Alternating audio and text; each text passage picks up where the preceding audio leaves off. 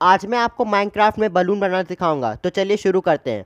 सबसे पहले आपको अपना एजुकेशन एडिशन ऑन करने के बाद कंपाउंड क्रिएटर रखना है और कंपाउंड क्रिएटर में आपको कार्बन को फाइव की क्वांटिटी में रखना है। इस तरीके से क्लिक करते पे और उसके बाद आपको हाइड्रोजन को एट क्वांटिटी में कर देना है।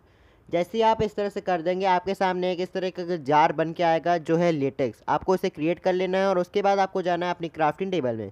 क्राफ्टिंग टेबल के मिडल वाले स्लॉट में आपको रखना है हीलियम उसके नीचे आपको लीड और सबसे ऊपर ब्लॉक में रखना आपको कोई से भी कलर का डाई इसके बाद आपको बाकी बचे स्लॉट्स मिल फिल कर देना इस तरीके से. जब आप इस तरह से सारे लेटेक्स को रख देंगे, उसके बाद आपका एक बलून क्रिएट हो जाएगा. आप बलून को फेंसेस पे प्लेस कर सकते हैं. इसी के साथ आप बलून को एरो से फोड़ भी सकते हैं. देख सकते हैं मैंने यहाँ फेंस रखी है और उसके बाद आप बलून को प्लेस किया है और आप इसको इस तरीके से फोड़ भी सकते हैं. इसी के साथ बलून से किसी भी मॉब को आप अटैच करके उसको उड़ा भी सकते हैं.